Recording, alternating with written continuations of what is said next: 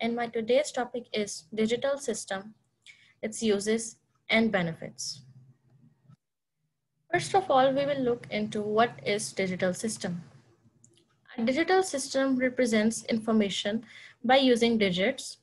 Each digit represents a small amount of information because each digit comes from a small set of choices.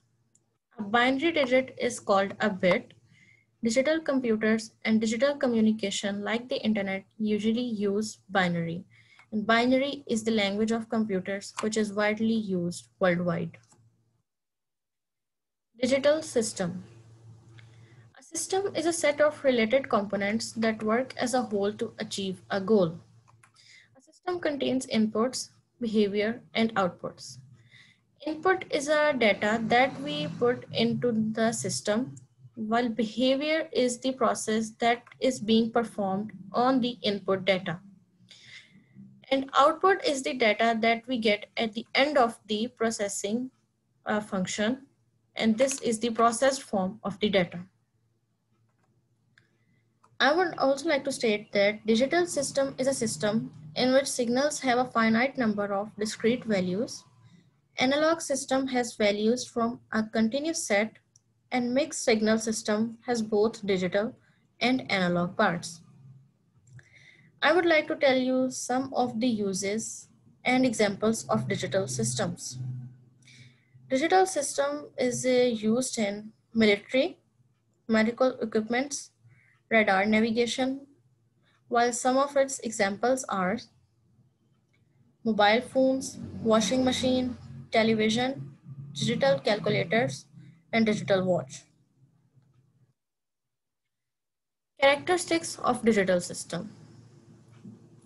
Data is represented in a digital system as a binary variables.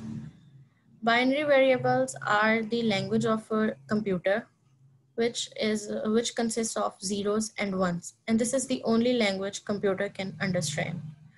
Digital systems can provide accuracy uh, over a dynamic range limited only by the number of bits used to represent a variable.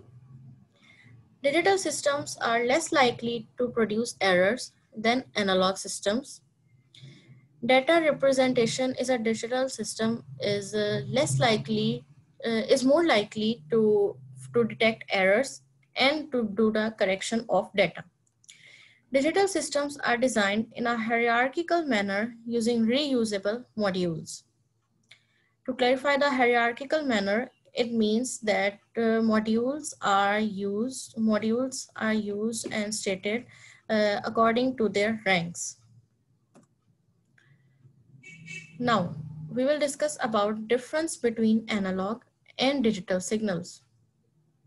An analog signal is any continuous signal for which the time varying feature, which means variable, of the signal is a representation of some other time varying quantity. For example, analogous to another time varying signal. It differs from a digital signal in terms of small, small fluctuations in the signal which are meaningful. On the other hand, digital signal uses discrete, discontinuous values. By contrast, non-digital or analog system use a continuous range of values to represent information. Although digital representations are discrete, the information represented can be either discrete such as numbers or letters, or continuous, such as sounds, images, and other measurements of continuous systems. One other difference that we could include is signals are represented by two methods, digital and analog system. Digital signal is limited to only a few possible values, generally represented by binary logic uh, uh, sorry, binary logic 0, which varies from 0 to 0 0.8 volts, and logic 1, which varies from 2.0 to 5.0 volts, whereas analog signal varies continuously. One other difference that we can include here is Digital as well as analog system both are used to transmit signals from one place to another like audio and video. Digital system uses binary formats such as 0 and 1 whereas analog system uses electrical pulses with varying magnitude to send and receive data.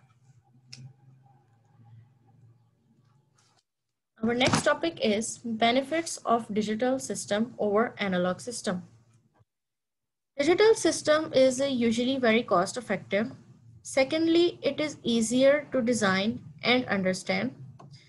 Third thing is it works well with numerical and non-numerical information processing. Fourth point we can include is it has high tolerance for noise. Fifth, we can say that uh, digital signal are easier to duplicate similar circuits and complex digital circuit. And lastly, we can say that adjustable precision and easy to handle by computer. So these are the benefits and or advantages of digital system. Now I would like to tell you some of the disadvantages of digital system over analog system. Digital system has low speed and secondly, uh, we, uh, we need converters to use the digital system. For example, analog to digital, digital converter and digital to analog converter because our physical world is still in analog system while computers are working in digital systems. So this is our difference and we have to bridge this gap in order to convey our messages easily. Lastly, I would like to tell you the uh, uh, importance of digital system in today's world.